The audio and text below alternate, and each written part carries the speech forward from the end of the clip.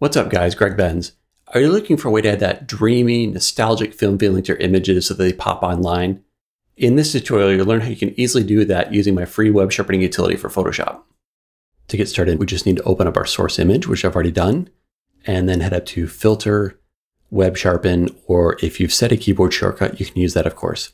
If you don't already have my web sharpening utility, you can download it for free using the links below this video.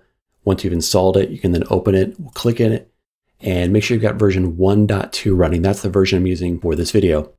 I'm not going to go through all of what's happening here. I've already done that in a previous video that I'll show at the end of this video. But what I do want to quickly note is that the purpose of this utility is to take our high resolution original layered file and squeeze it down into a beautiful looking JPEG that you can share on Instagram, Facebook, wherever it goes. So in this case, I'm going to output a 1080 pixel wide image instead of the original 3600 pixels with high quality JPEG compression, 150% sharpening amount.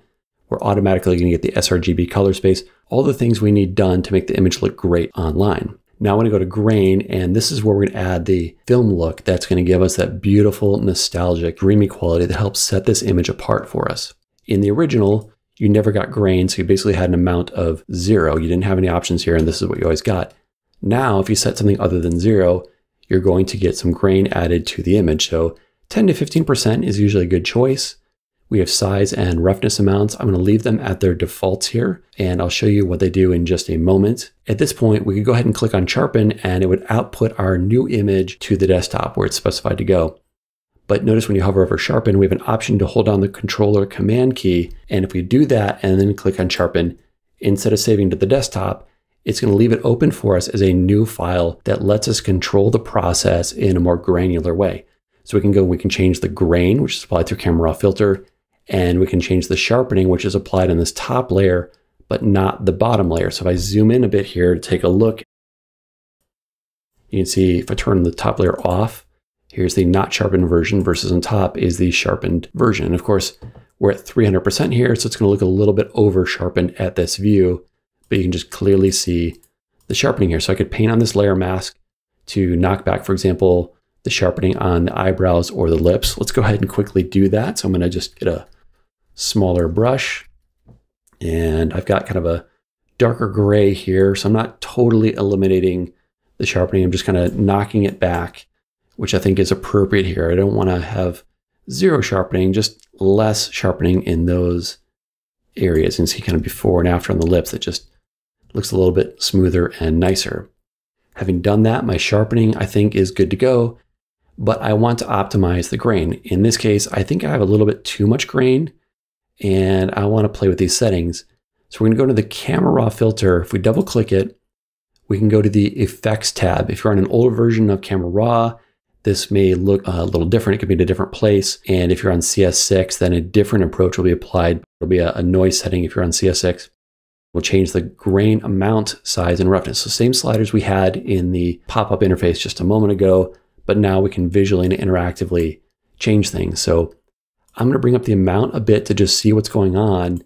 And then we can optimize the size and roughness, and then we'll finalize the grain at the end. So we want to have enough amount so we can actually see what the next two sliders are doing. If we take the size to the left, you get much finer particles of grain. If we slide it to the right, you get much larger ones, which has the effect of kind of softening things up a bit. And let me zoom back just a little bit. 400% is probably too much. You see with small grain to large grain. I would say in general, the larger grain looks really nice if you want a softer portrait kind of look. And so 90% or so is probably a great choice. I'm gonna leave it 100 here. For other images, the default 25 is a good choice. I wouldn't usually go to lower values than 25. I think it starts to look a bit noisy in that case. Next up is the roughness, which is the uniformity of the grain. If you slide to the left, it gets more regular and uniform, and I think it looks a little bit pixelated here.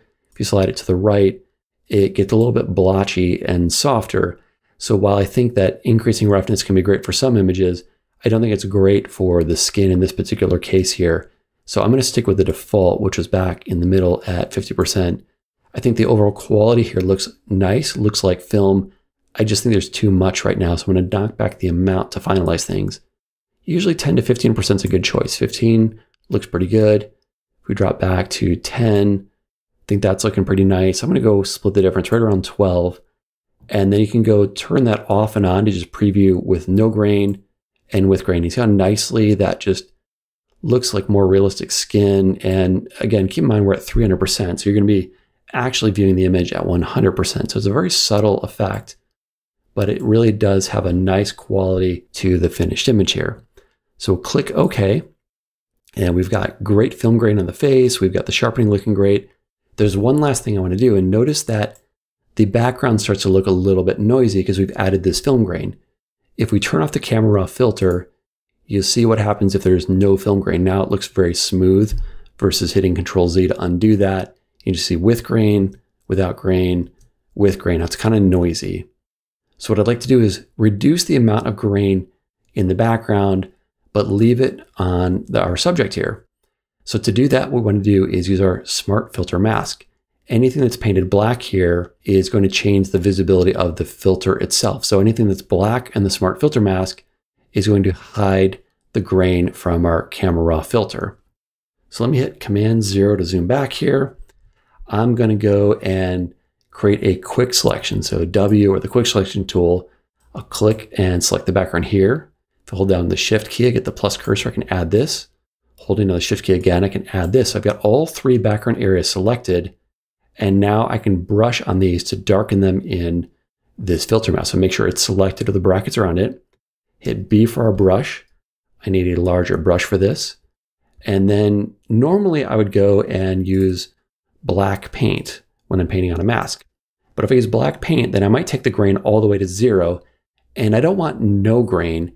I just want less grain. If I have no grain at all, it won't look consistent with the rest of the image.